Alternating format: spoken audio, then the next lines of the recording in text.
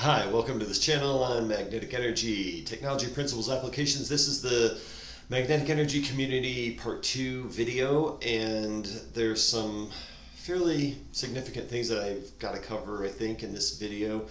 And the first thing is, so in the magnetic energy community, everyone essentially has everything they need. You and the scarcity is, and there is no uh, there's no scarcity. Is that a good way to say that? End of scarcity in the magnetic energy community of essentially everything. And so when you get into the formulation, reformulation, deformulation of matter with magnetic technology, you can essentially um, generate or replicate whatever you need. And so, so this gets kind of interesting because even though you could have everyone living there for free, and even though everyone has everything they want, and they take for granted the value of everything in the community at some point because it doesn't really have any value. Once it once there's there's no scarcity involved things kind of lose their value. But before that happens if you have communities and the rest of the world is still trying to function in the same old paradigm of e- economics everything in the magnetic energy community becomes very valuable. So, for example, like if you have a magnetic energy house or a greenhouse, or these things that have been developed with magnetic technology and they are essentially electricity free, they're off grid, they're self sustaining, they have these incredible magnetic resonance energies throughout them and stuff. I mean, the house itself is worth a billion dollars. I mean, a billion dollars. It could be whatever price tag you put on it. Same with the greenhouse um, the vehicles that people would use would all be magnetic energy. They would be run on magnetic energy, so there'd be no pollution, there'd be no fuel required. So everything has this tremendous amount of value, even though the people in the community haven't really necessarily paid for anything because everything's basically free at that point because you can just replicate whatever you need. Now, the community itself could have export products. So the communities could literally export either conventional products that are already sold, or if they don't want to disrupt any markets, they could export completely new products that aren't even on the market at this point. And so, and they would literally just be replicating products or generating products out of etheric magnetic energy and then exporting those products, and they could make as much money as they really want but the interesting thing is they don't really need that money. So you kind of get into this weird dynamic of what's happening with these communities while we're in transition and moving away from it. Now, magnetic energy is really like almost like science fiction technology for what from what we are used to as a society at large. And yes, granted, multiple inventors and including the people that we worked with and including our own technology has been proven. It's been proven, and scientists have analyzed it, people have seen it, governments have stolen it, and all that other stuff, and that's fine. But the thing is, until it's proven again, it looks like science fiction. And so, and that's okay, and I think that's a great, you know, it is what it is for now. But when you have this type of technology, you can have, for example, everything you need to start a magnetic energy community contained in a small suitcase. And that sounds crazy, but the thing is, and then you can replicate those suitcases for free. So you could, I mean, you could literally start 10,000 magnetic energy communities all at once around the world, and every one of those communities is also, they have the technology to spawn off other communities to basically develop, create, grow other communities um, instantly. Like, and this, the community itself with the magnetic energy technology can be basically assembled and put together instantly, the, the infrastructure.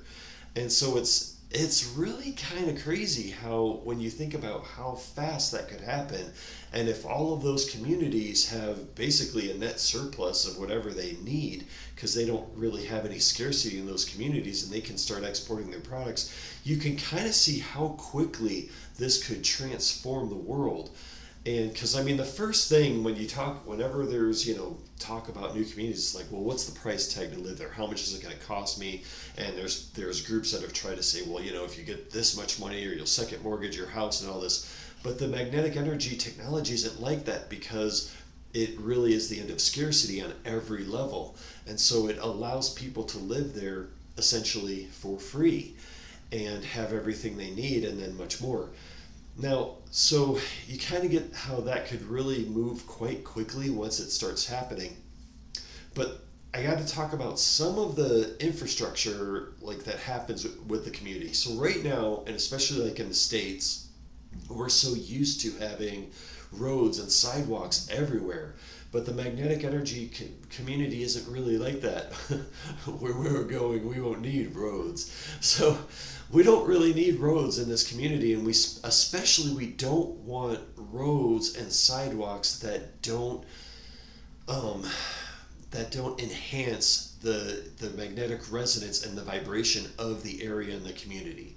Okay, so even if we have like pathways, and you can have gorgeous pathways, those pathways have to be, they should be, constructed in such a way that the materials of the pathway, like the stone, the rock, the metals involved in that, the amalgams, amalgamations of those are developed with magnetic technology and they resonate similar to like granite or to like limestone to things that we can that will help energy flow better. So, like if someone's walking, for example, on bare feet on those those charged that that offers them tremendous flow of energy through their body tremendous grounding tremendous healing of their body so your entire environment is essentially designed for optimal health and optimal ascension not only physically but in your consciousness. So the so what we want to do is we want all the pathways or walkways or they don't you don't really need streets but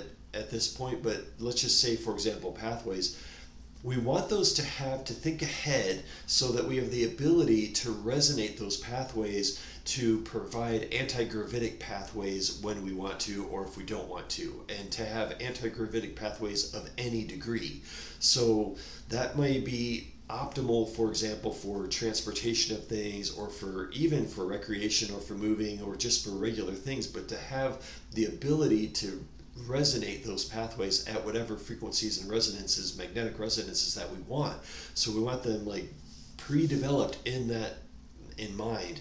And we don't really have a limitation on materials. Like someone's going to go, well, how can you afford miles of granite, you know, walkways? That's ridiculous but see, we're working from a different model. So when we're replicating this technology, we're replicating the ingredients for those, and we're developing those pathways with magnetic technology, we don't really care about the budget. Streets of gold, right? So I mean, we've got anything that we want, we can essentially keep that making that for the optimal environment that we want it to be. Now, of course, as the technology progresses, anti-gravity kind of becomes, you know, commonplace throughout the community. So all the transportation, whatever it is, whether it's just individual transportation or actual vehicles, they all become anti-gravitic. But but before then, though, what we really at least want to do is have them driven with magnetic energy units and motors that don't produce any pollution. And so, really, ideally, every one that wants a vehicle, if you will, that's that's in the community has a magnetic energy driven vehicle. So if they want to leave the community and go anywhere else, that's fine. But if they want to get around the community, they could either have magnetic energy driven scooters or whatever it is that then are powered with magnetic technology and there's no no carbon emissions, there's no batteries, there's no no need to charge anything. It's just all based on magnetic technology. Now that brings me up to the next point is that this is a very important point is these these communities should be and they, they really must be chemical free.